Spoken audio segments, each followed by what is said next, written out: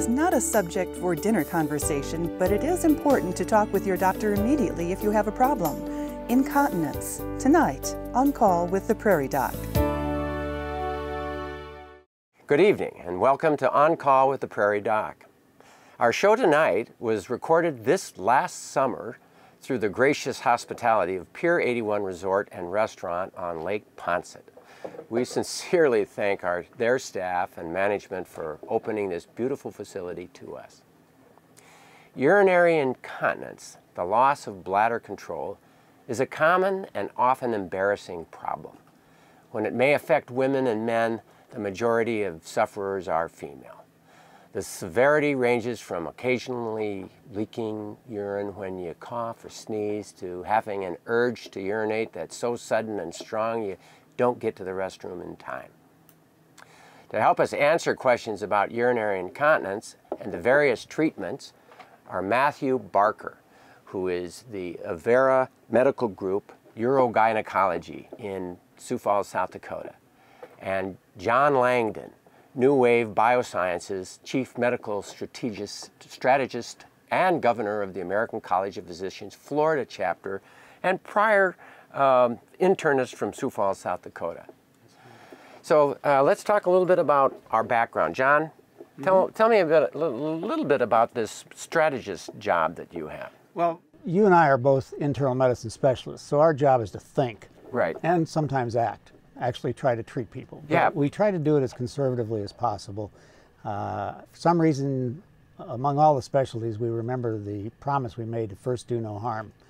So we try to look for treatment modalities that are the least interventional as possible, the least medication, the least side effect potential. So in incontinence, while it's a gigantic problem, there are lots of things you can do, and we're going to visit with Matt about some of the ones that are kind of on the very aggressive, really remodel that body sort of Yeah, thing. he's a surgeon. He's a surgeon and he Yeah. rebuilds things. And I'm an internist and I try to educate people on things that they can do. So my job as chief medical strategist for New Wave Biosciences is to constantly be looking for minimally invasive ways to help people with a variety of problems. And, and GYN is, I mean, in, Well, and incontinence is one of those. Yeah, absolutely. And as like I say, uh, hardly anybody dies from incontinence unless you die from embarrassment. Or is that right? Is that reasonable, Matt? No, that is that is very true. I mean, I think it's a, a classic condition that uh, you know, once that happens, then they won't seek treatment because they're so embarrassed. They're even embarrassed to talk to their primary care docs. And so I, you bring up a good point. But I, to, to defend the surgeons out there, I want you to know we also think. I don't just do interventions or uh, complex surgeries. I, I take a look at the whole perspective of incontinence specifically for women. And you So got to remember, I spent three years of my life only studying incontinence and problems and pelvic floor issues in women. And that's the same amount of time you guys spent learning to become internists. So, well, All right. so We had to do a I, I whole- think it's had to important to learn body. to think, but also be uh, able to uh, Do something act. for them. yes, and uh, correct the problem. Yeah. And that's what I hope I can do for people. And we know you do. and we do uh, know you do, but you're in the surgical uh, field. Correct. Now, tell us a little bit about what brought you to that field. Well, it's great being here with you guys because uh, I have a history with both of you. I've known both of you probably since when I can remember. Uh, Dr. Langdon and Sioux Falls growing up, and you through uh, knowing you, uh, working with my father, who was a gastroenterologist in the community for many, many years. So it's an honor to be with such distinguished uh, thinkers, I should call you now, Thank you. Thank you All for that. And, uh, but for me, I liked women's health. I did an obstetrics and gynecology residency, and then I enjoyed uh, reconstructive surgery or pelvic floor uh, disorder treatments for women, and that led me to urogynecology. And urogynecology is a, a more general term for our specialty, which is female pelvic medicine and reconstructive surgery.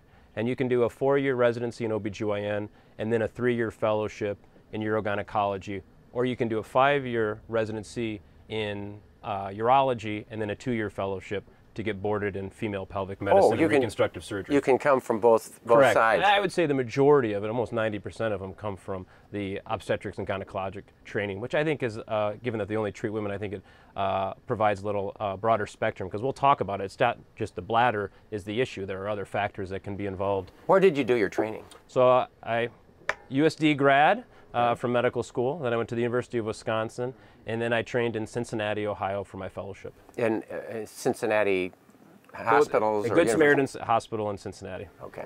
I have a question Sure. that I'd like to throw in, and something we're always asking people because I work with a lot of doctors and try to encourage people to try to discover issues relative to the pelvic floor. And I was just wondering what your take on what's a healthy pelvic floor mean to you for a woman? Well, I mean, a healthy pelvic floor for someone is continent. It provides normal function. And normal function of the pelvic floor is micturition or urination and emptying the bladder, emptying the bowels, sexual function, as well as uh, reproduction. And uh, those so are four things. yeah, those are the things that uh, the pelvic floor does. And when those aren't working correctly, well, that's why there are people like myself and, and as well as your guys' interest in this to, to help people. Well, so we have urinary incontinence, but there's also rectal incontinence. I suppose you deal with that as well, don't you? We do. I mean, so, you know, when someone presents to uh, a physician with urinary incontinence, there's a high correlation with incontinence of stool or what's sometimes called accidental bowel leakage or uh, fecal incontinence or stool incontinence. And they're always looking for terms. You know, when we talk about urinary incontinence, we have the term overactive bladder.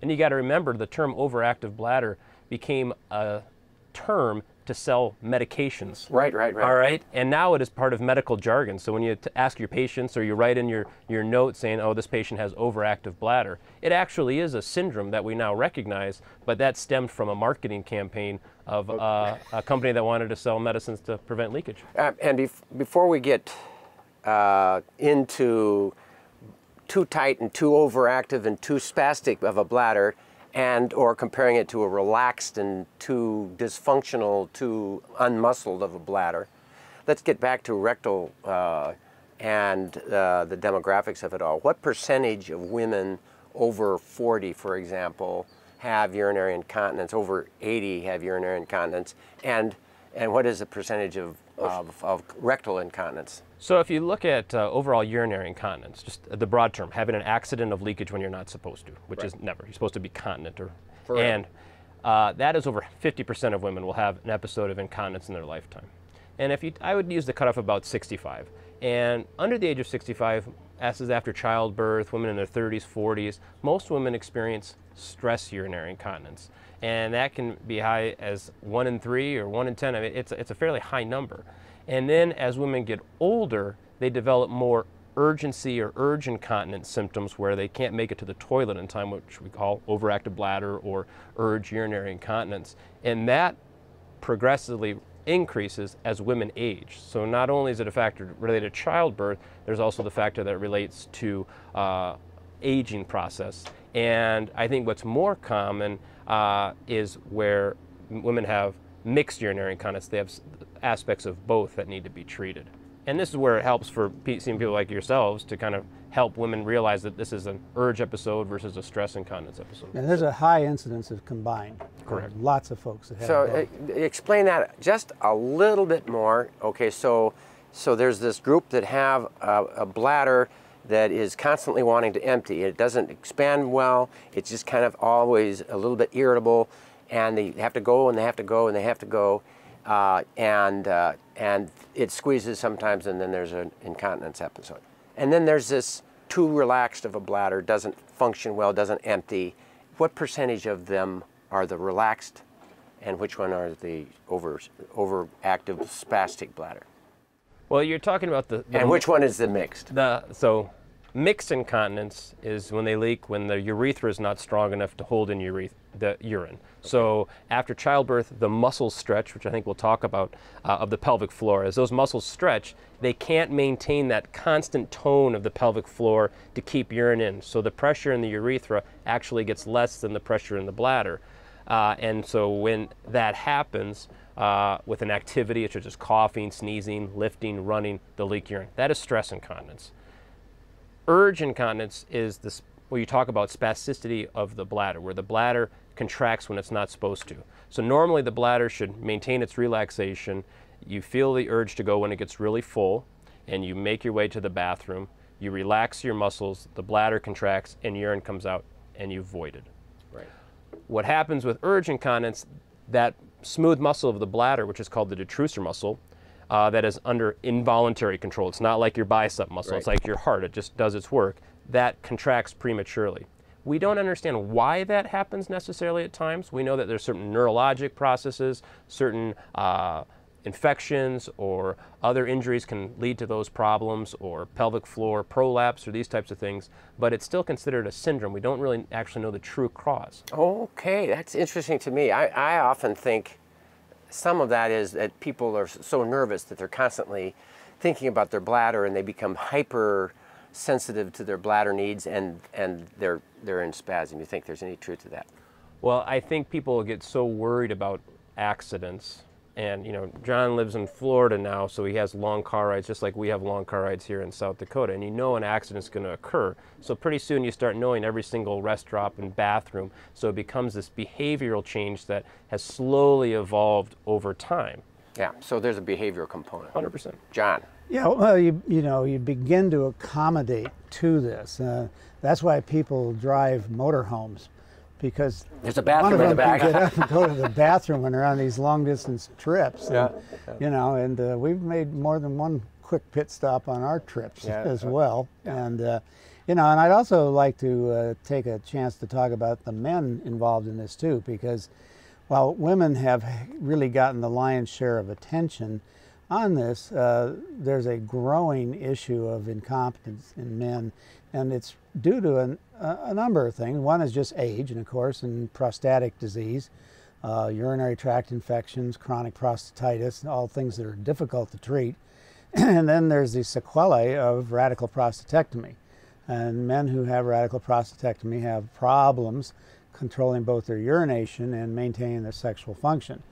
Many of them will get better over a long period of time slowly, but they're poorly responsive to the typical therapies that we'll offer women the Kegel exercises, the drugs, and we, we'll get into the drugs, but unfortunately, the drugs for incontinence tend to have side effect profiles that look like the side effects of aging the older you get. so if you want to feel old, try taking some of these drugs, and you'll get some of the dry mouth and the like- this and that, and oh. the other thing, constipation, other problems that are associated with aging. But another interesting group of men are returning soldiers from these Afghan and other theaters of war where they've been out and redeployed, and they've been carrying these 110 pound backpacks around for years. And there's a growing incidence in the VA system of these younger soldiers returning who are having problems with urge and stress incontinence. And I don't think it's really well understood what happens, but there could be some changes in bladder irritability, sensitivity, Chronic ability to co- infection. recurrent infections, a whole host of things that seem to cause problems. But there may be some chronic structural changes that occur in their pelvic floor as well. Because uh, while women are delivering babies through their pelvic floor, these guys are shouldering huge loads which increase intra-abdominal pressure and probably affect over time their bladder floor, their pelvic floor, all the muscles of the perineum. So there are various approaches to trying to do something about that. And we can talk a little bit more about that that, that aren't Yeah. invasive. Well, if you look at like you know, they're asking about the incidence of urinary incontinence, especially overactive bladder or urgency urge incontinence. You know, after the age of 80, men and women equally face this problem. Sure. More women are living longer, um, and it's much easier to screen sometimes for these women. The m- government healthcare has a screen for urinary incontinence in women, but it, it really is a, a factor of aging as well. And I, I think you bring up a good point about the musculature, not only of the pelvic floor muscles, but just the smooth muscle aspect of the bladder itself. Yeah, it- it brings me to that Kegels or Kegels exercise. I think we agreed, the three of us agreed it's Kegels, don't- haven't we? But I've learned my whole uh, time that it's uh, uh, Kegels. Either way, this exercise that we can do to tighten uh, the, the sphincter and the pelvic floor muscles. Uh, don't you think that some of the reason uh, that this happens as we get older is because we're not exercising that muscle group? Uh, is it be, just like the Speak for yourself, uh, Rick. All right. I mean, there's, a, there's certain muscles we can we can You're a lot- exercise. You're a lot but, yeah. younger than we are. It's easier for you to get that exercise. But I know you're, you're. I think yes and no. I think the big issue with pelvic floor muscles, uh, and especially doing Kegels. Remember, uh, Dr. Kegel was a, a, a general. Uh, I think he might have been an obstetrician and gynecologist who kind of realized that hey, there's ways to strengthen these muscles and recognize the importance of the pelvic floor muscles to do exercises. And this, in turn, uh, that most gynecologists or obstetricians would talk to their patients about. Hey, make sure you contract your pelvic floors and and unfortunately, only about 30% of women can actually isolate those muscles. And meaning that they need assistance and help rectify, identifying what those muscles do for them. So it's not just kind of saying, hey, while you're sitting in the car or, uh, you know, while you, before you go to bed at night, contract your pelvic floor muscles. They actually may need some physical therapy to uh, isolate those muscles. All right. We're going to take a break. We'll be back right after this.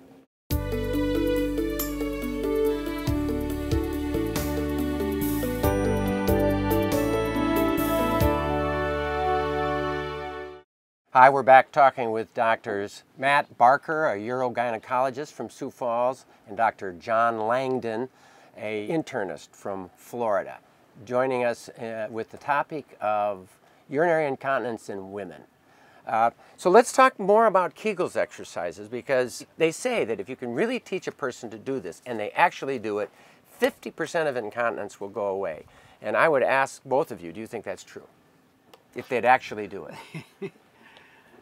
Oh, yes, I mean that's what the studies show that they'll get better, and I think it is a definitely a first-line treatment option, especially for stress incontinence. Young women, I think they should all try muscle exercises with or without the addition of uh, pelvic floor muscle therapy, which is either through a physical therapist or uh, some other type of standardized therapy to contract helps contract the pelvic floor muscles, and then it also helps for uh, mixed urinary incontinence. People have urgency and stress urinary incontinence. So I think it is definitely a first line therapy for women that is non invasive, that's very helpful, and something they can do for the rest of their lives. On the, on the other hand, Kegel exercises are very hard to do in a manner that's consistent with true therapeutic outcomes because basically, if you're going to do them, you have to do them three times a day forever. And, and 15 you, minutes, uh, uh, it's uh, just a chore. I've heard that if you do that tightening, uh, gradually tightening, like you're going up an elevator and holding it for five seconds and then let, letting it go slowly, like you're coming down from the elevator, uh, that if you did this exercise uh, 200 times a day, uh, that means, you know, 10, 20 times every hour um, that you're awake, it would do it.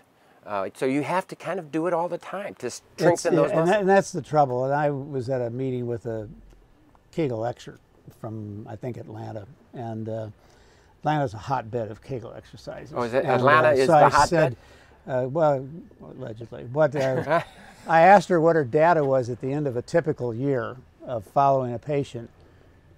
She didn't have any data because nobody does it do reliably it. for a year, and that's why you get into support. Uh, typically, a lot of pelvic floor rehabilitation has been done by physical therapists, and that's where they get into using biofeedback to help women try to identify which muscles the muscles so that they need to use. But tell us there's a, an easy way to do that. Now, but first, explain to me how you, you educate a person about what a Kegel, well, Kegel this is said by a woman from a podium from a university. She said, when I'm asked that question, I said, you imagine you're on an elevator packed with people and you have to pass gas. Right. And you do everything you can possibly do to not let that happen in the elevator. That's a first class Kegel exercise. Okay, now that's a. Now you have to repeat that over and over and over and over and over. And uh, it's very difficult to get 200 times a day. Well, I don't know what I would practice before I would test that theory.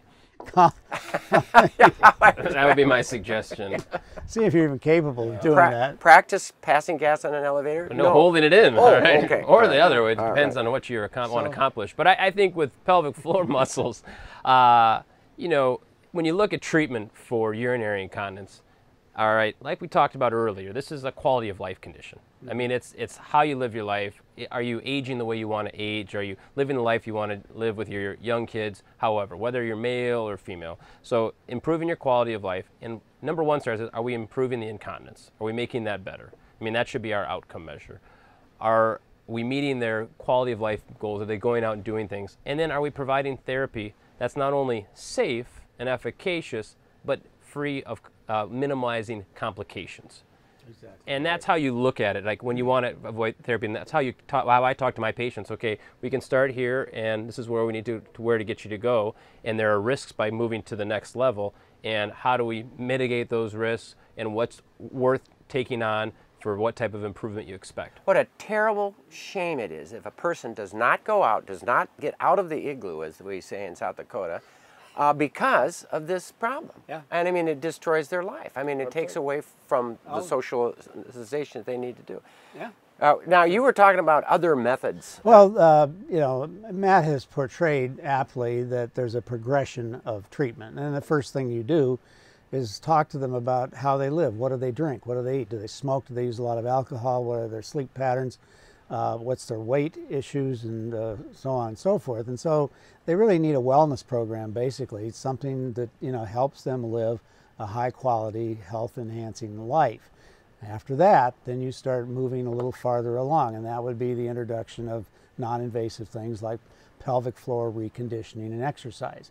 That can either be done by yourself by properly doing Kegels, or you can avail yourself of other forms of external uh, stimulus, the e-stimulation, electrical stimulation, implantation of something that's called a posterior tibial nerve stimulator, variety of things. They tend to be somewhat invasive, and then there uh, are some non-invasive therapies, particularly uh, very strong magnetic currents, can, when passed through the pelvis, stimulate the pelvic nerves, which in turn stimulate the pelvic muscles and induce a Kegel-like contraction of those muscles.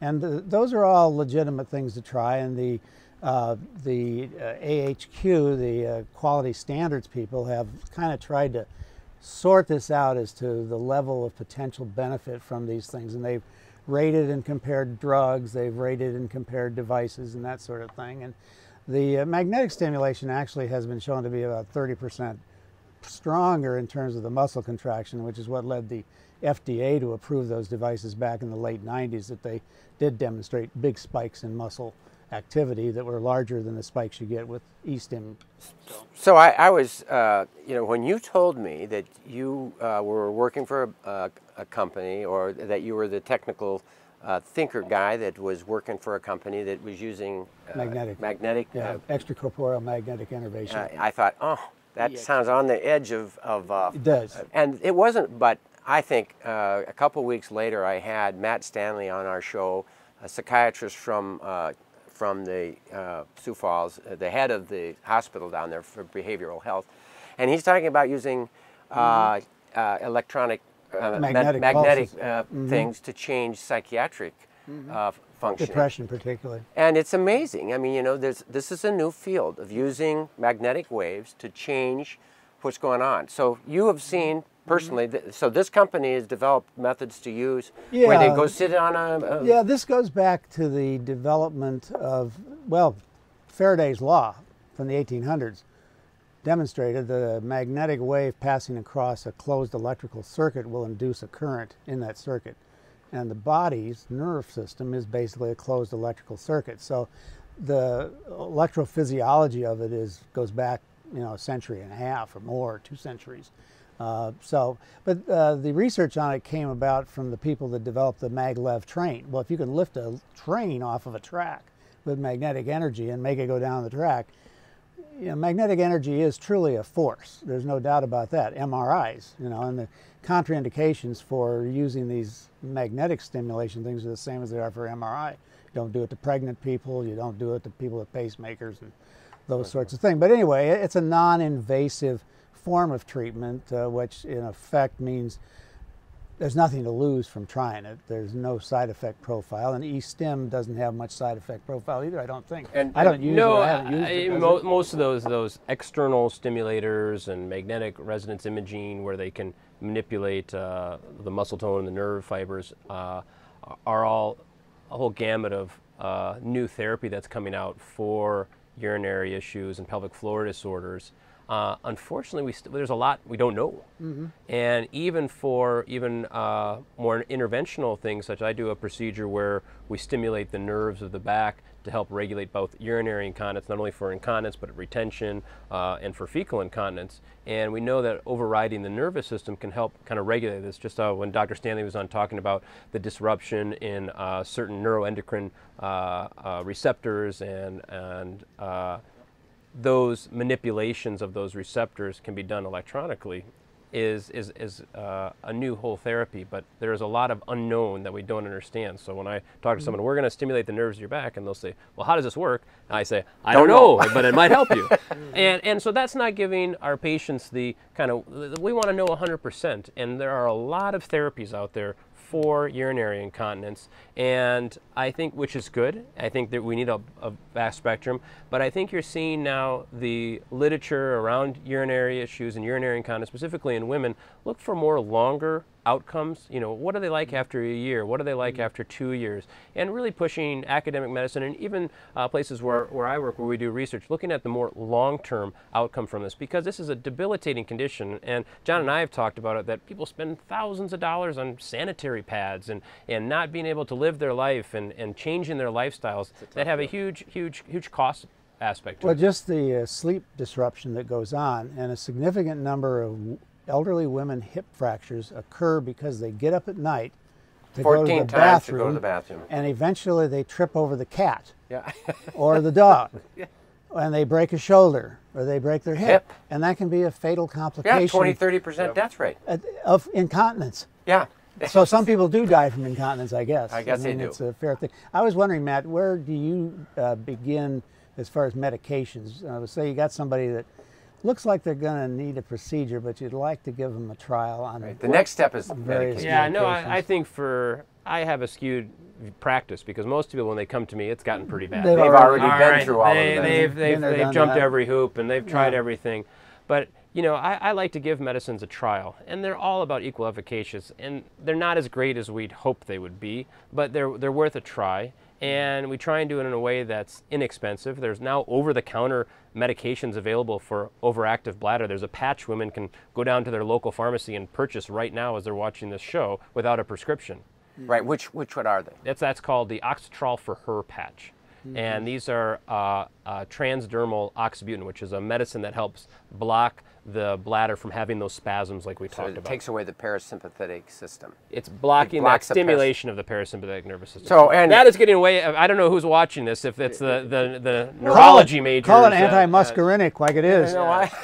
yeah, but Yes. parasympathetic is kind of the yang of the yin of, of No, adrenaline. let- let- adrenaline is the yin, and parasympathetic is the yang. It's the it stimulates the Yes, the it GI tract. So you block the GI tract, you block the tears, you block the, the bladder spasm, uh, and and then you end up with really dry mouth. Well, you guys got to be a little careful. You're internists, so a lot of the, your armamentarium is only medications. So That's right, all so why I am I- want you guys I'm- to poo poo pooing the uh, the Well, medications. the- it, it is a therapy, so I think they have to. Everything has to be done. It's not like you come in. Oh, you need bladder retraining. You need some muscle exercises of your pelvic floor. You need a medicine. You need surgery. It is not that that certain. It is an evolving thing, and I think we have to really put the patient's autonomy here first. Because this is not you have cancer, you need this. This is a health condition. All right? This is educating them about their problem, finding ways that they can live their life to the fullest potential, and what do they what, what do they want to balance? Right, giving them their options. 100%. And let them kind of Yes. wade their way through the, the, Yep. the option. The oxybutynin, which is the cheaper option that's over the counter, even in a patch, is the same thing as Vesicare and what's the new one that's out of all of these meds? Well, there's a, there's there you know there's almost 12 of these types of medicines that are out there, and, and they're all about equally efficacious, but everyone tolerates them a little bit differently. I think we we'd love to put everybody in a group, and you have to you take that each patient is an individual. They have certain needs. They might be 85 with dementia, or they might be 35 year old with uh, two kids at home. They, they, you have to cater those, those medicines or the timing of them or when they use them, and then kind of helping them see what they can do to change, and then take them up that type of uh, level of, of care. Do we, when do we go on for surgery or, or assessing what, because you know those medicines aren't going to help the woman who leaks when she exercises. So I, the only question I have is the side effects have been so awful uh, in my patients, and I take care of an awful lot of Yep. elderly. And so dry mouth, they're dry mouthed anyway, and they have lack of tears anyway. So then you dry them out more, and they can't tolerate it. Well, they say as many people start these meds, stop them every year. Yeah. It's hard to even A get out higher percentage. I mean, I mean, 60% of them won't be on those medicines at a year. But do they tolerate the longer acting, the brand name, uh, fancier ones? Yeah, I mean, bit when you better? see someone, if you're going to start a medication or if you're a patient going to start a medication, you probably should start a longer acting medication first than the shorter acting. And, and that's been substantial because it has a decreased risk of uh, side effect profile, you know, less dry mouth, less constipation. And these are side effects. That does not mean everyone gets them. And I think that's a, when people are watching those commercials on TV and that quick phrase is in a mumbled voice at the end that, that doesn't mean that's going to happen to you. It could. If this happens, here's what you do. the last complication is death. yeah. That is not for these med- medications, but yes. well, they, but Um, I would throw in that uh, on the male side, uh, that the hype over Cialis that you see on TV is actually pretty well founded. It, it actually does help men who have, you know, urge, stress, incontinence, and overactive bladder, particularly. Um, it has something to do with the blocking of receptors in the muscle walls, and, and you know these drugs were largely cardiac drugs, the Viagra's of to the start with, Yeah, because of their ability to relax smooth muscle and dilate blood vessels. And apparently something similar is going on with these, but they're actually pretty, pretty good good, for the- for yeah, bladder yeah, incontinence for I mean, men. Forget the uh, Sometimes the side effects can be good. but- that's, and the side effects are a good thing. But I think if you look at uh, the, the medicines, I, I, I think everyone wants a simple solution to what's a very complicated issue. And for internists or primary care docs, I think the real issue is focusing on fluid management, assessing people with di- diaries. I can't tell you how important. If you're a viewer watching the show, do, it, do your own diary at home. Not only can it be diagnostic, tells you when you're leaking, you can also say, hey, maybe I shouldn't have drank after 5:30 p.m. I wouldn't get up as much, or change your behavior. So a diary before anyone even goes and sees a doctor can not only be helpful in helping you understand what's going on, but it also can treat it. bladder diary it's called and it's very very effective and the other thing along those lines would be for medical offices to take the initiative to screen people uh, people come in for this that and the other thing and they're already embarrassed about their incontinence and they don't really want to talk about it but if everybody gets handed a discrete little form and they just check it off there's eight items and it comes in with their chart and it's like uh, Which does this- items? Does this bother you that you know you're going every hour, that you're getting up five times a night, that you can't make it to the next rest stop? Does, does this bother you?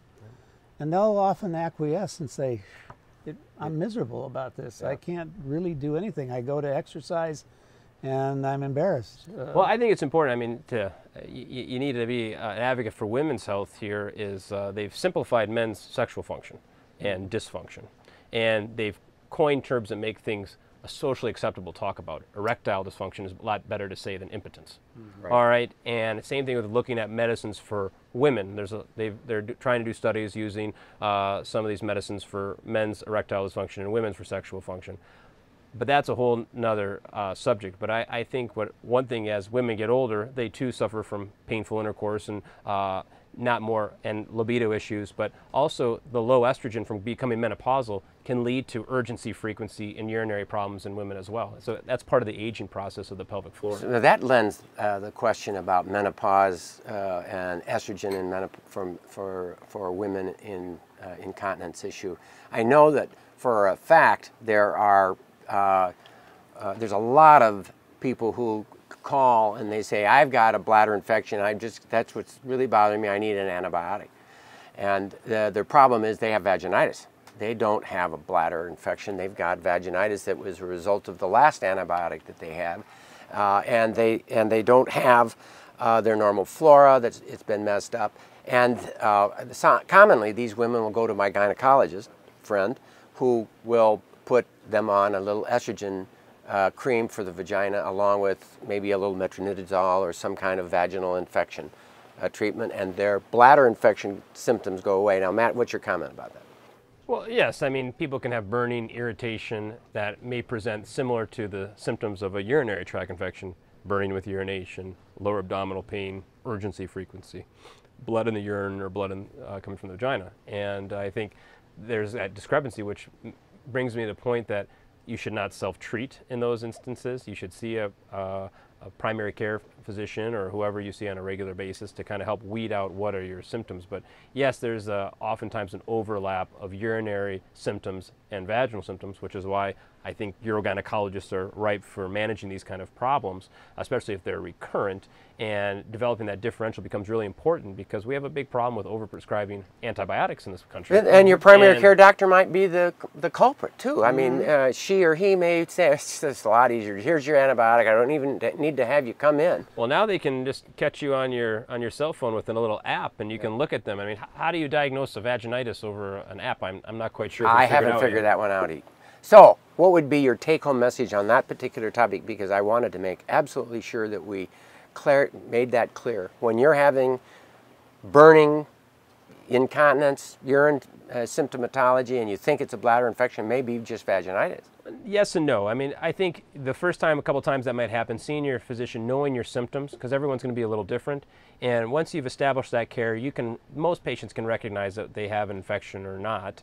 Uh, being able to tell the difference between those two is important for them to realize.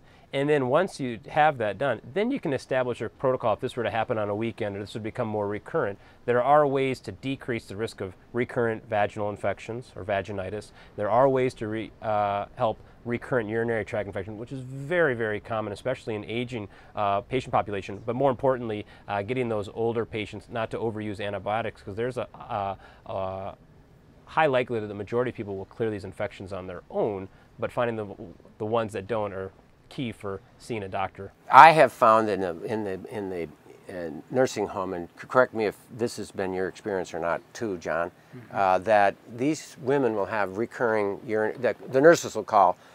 Maggie's got, uh, you know, 90-year-old Maggie's got another bladder infection. She's irritable, and she needs an antibiotic. And uh, and then they've done the urinalysis, which is always kind of a yep. mixture of vaginal fluid and bla- uh, urine, and it's hard to define. I'm and glad we're on PBS. I, I am glad okay, we are. Yeah. and uh, and but I found that if you put them on vitamin C, 500, four times a day, a lot of those women won't have those recurring symptoms. I know there's some studies that counter that, I, and I can. I, I can see you saying that, but my point is, in my clinical experience, I've had uh, it's rescued some women from a recurring uh, yeah. problem. I think you're looking at you're acidifying their urine, and vitamin C acidifies the urine. Better than and, cranberry juice. Yes, and I think if and if you want to cut down on and, and, and the data is mixed, it's not really strong.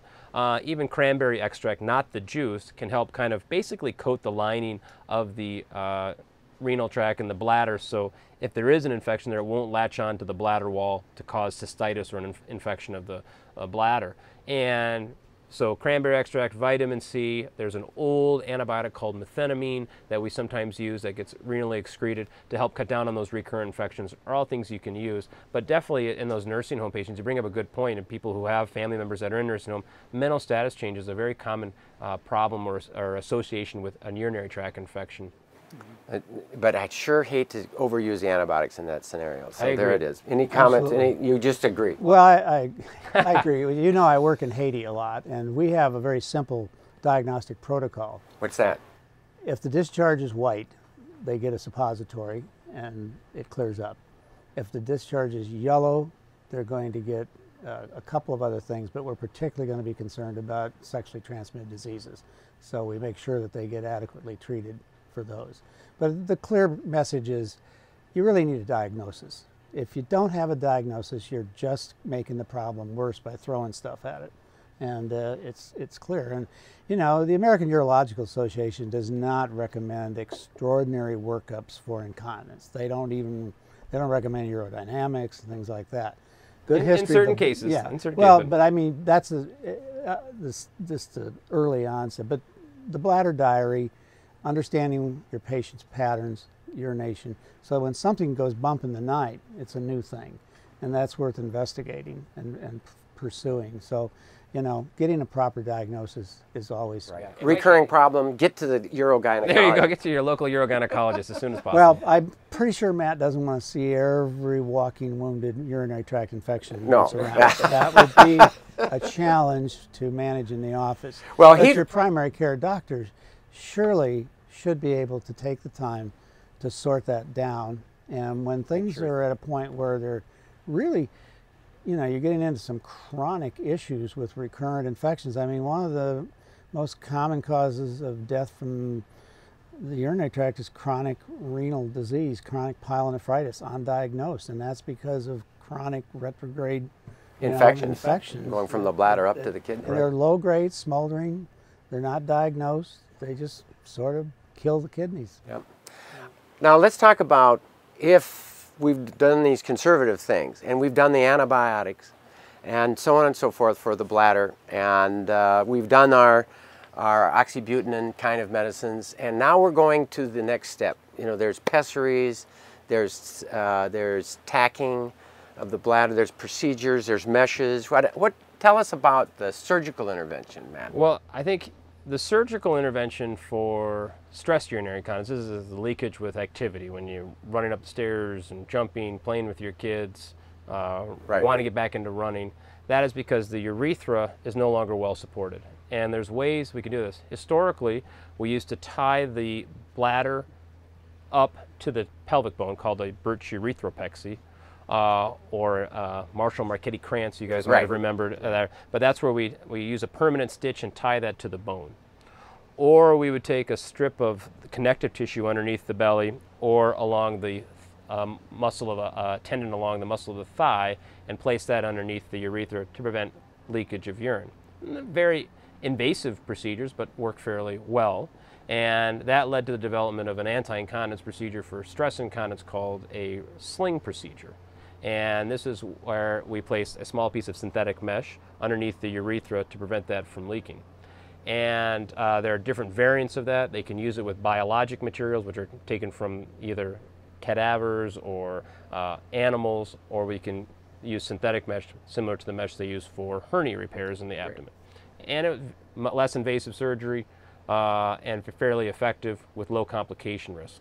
And that's kind of revolutionized how many urinary incontinence procedures we're doing because of its quick return to activity. It's an outpatient procedure and it's very effective. Do you take the uterus out most of the time? That is just a simple out, outpatient procedure, but you do not need to take the uterus out for urinary incontinence. That would be only if there was some uterine problem or if it was prolapsing, and it was just Prolapsing means it's coming Prolapse out. is like basically a hernia inside the vagina where you've lost support to the bladder or the uterus or the area between the rectum and the vagina, which is falling out where a woman will feel pressure or heaviness in the vagina, which is oftentimes correlates with urinary incontinence. So the standard workup is ruling that out when you're evaluating someone for urinary incontinence. Um, I wonder if you could comment on Botox.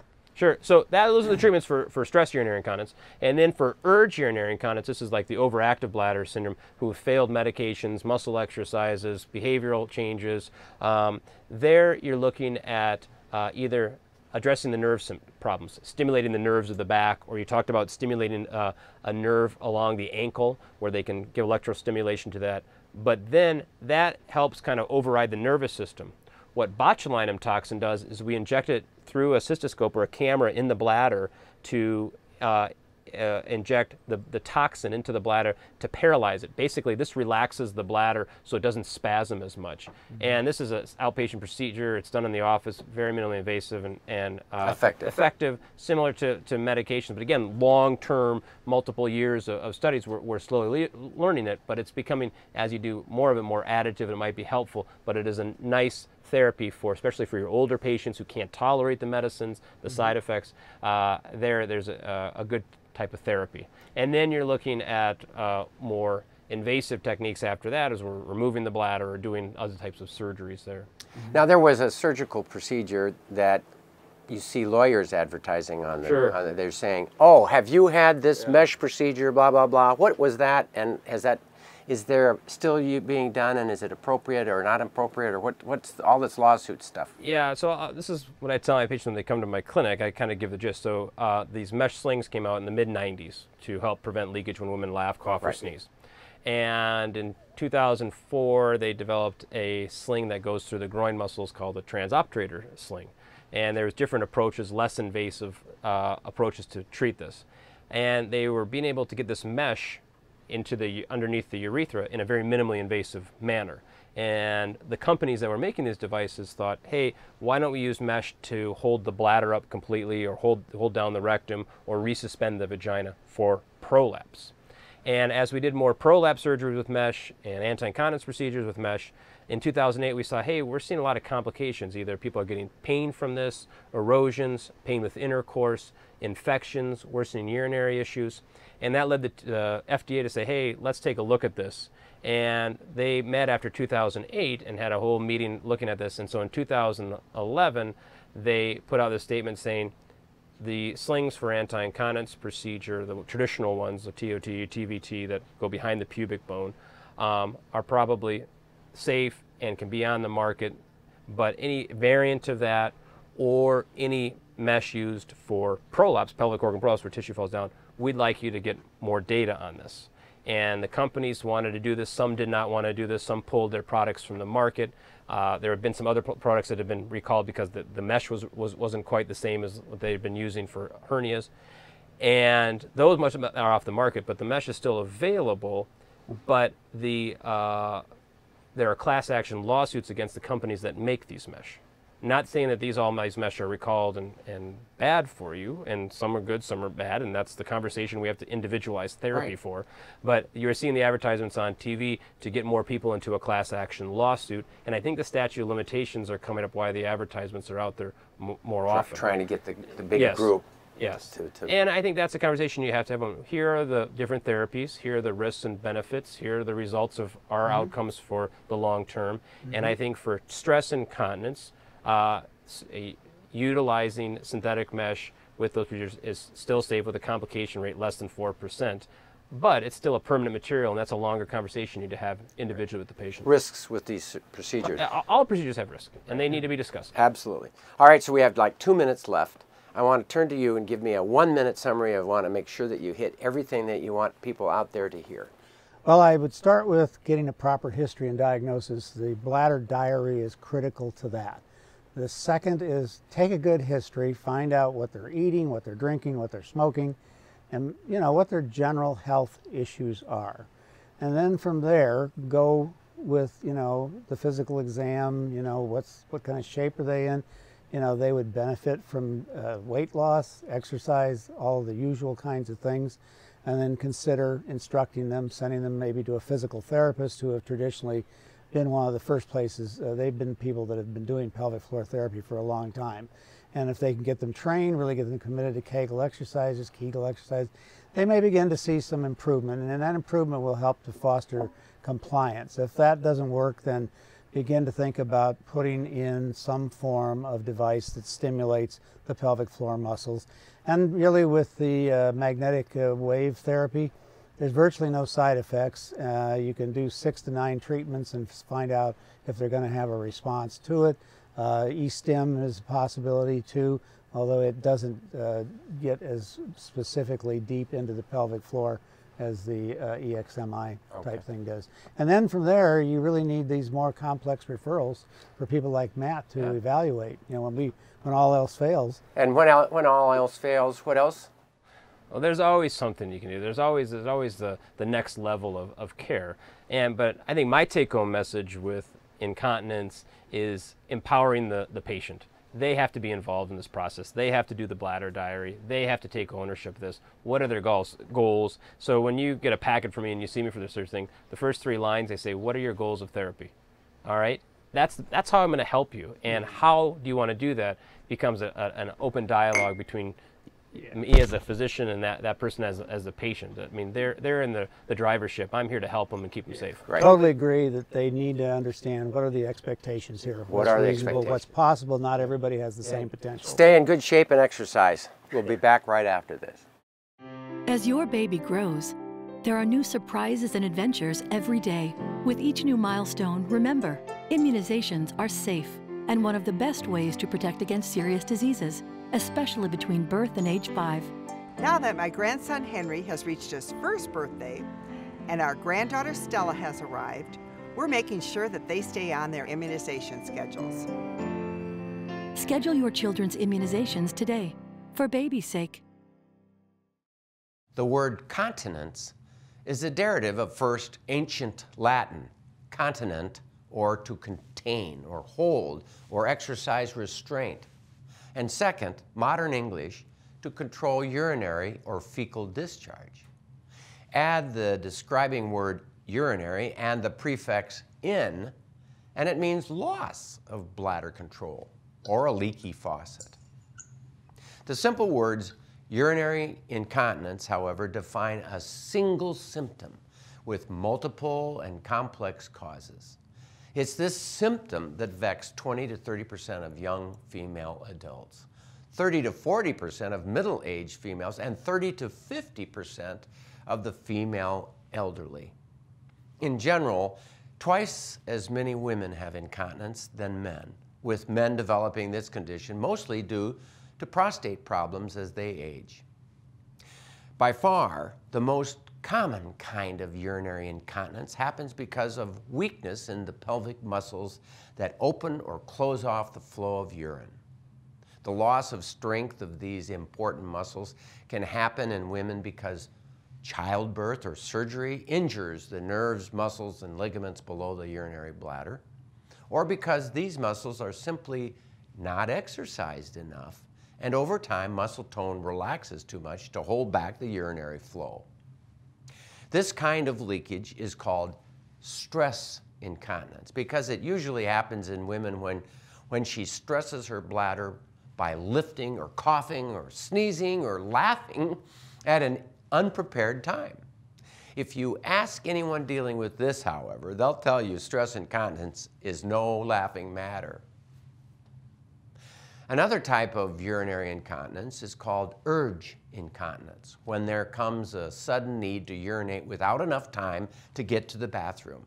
This occurs when the muscle that surrounds and squeezes the bladder goes into uncontrolled spasm, making an urgent urge to go.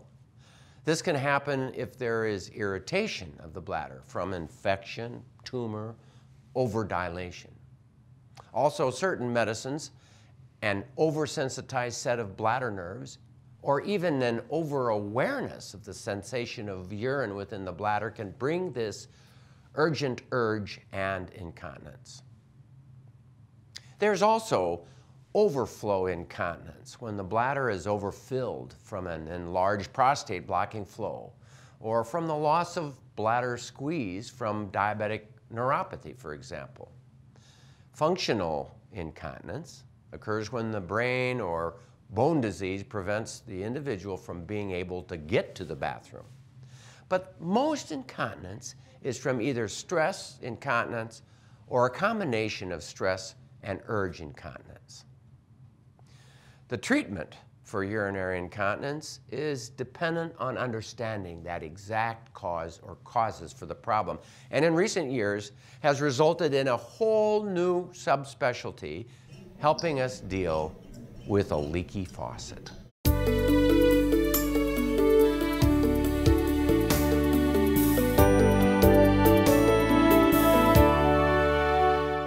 Well, this brings us to the end of our show, and I want to personally thank both our wonderful guests, Dr.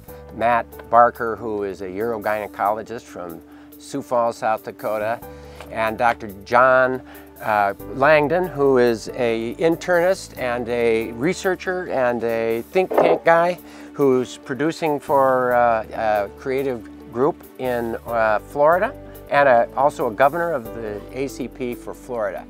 And I want to thank Pier 81 for uh, bringing uh, us uh, this special spot and for serving our crew a fabulous meal and doing all uh, for us that they've done today. Thank you so much, Pier 81. Uh, that philosophical place in this beautiful uh, environment of Lake Poinsett brings us to, to think about what Gandhi has said, and he's, he put it this way, it is health that is real wealth and not pieces of gold and silver. So from all of us on here on On Call with the Prairie Doc, thank you and good night.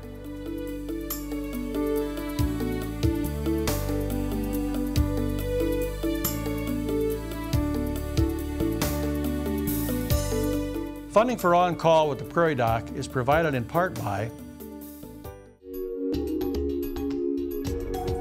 Avera is a proud sponsor of On Call on South Dakota Public Broadcasting.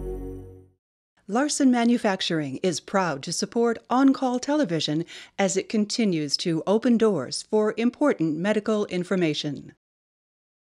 And by the South Dakota Foundation for Medical Care, an organization working with the state's healthcare community to improve quality of care as part of the Great Plains Quality Innovation Network. Additional funding is provided by Aberdeen Asthma and Allergy, Avera Heart Hospital, Brookings Health System, Dakota Allergy and Asthma, Dakota Care, Orthopedic Institute, Physicians Care Sanford Clinic Community Service Committee, South Dakota State Medical Association, Swiftel Communications, and Vance Thompson Vision. Closed captioning for On Call with the Prairie Doc is provided by Avera, Brookings Health System, and Fishback Financial Corporation.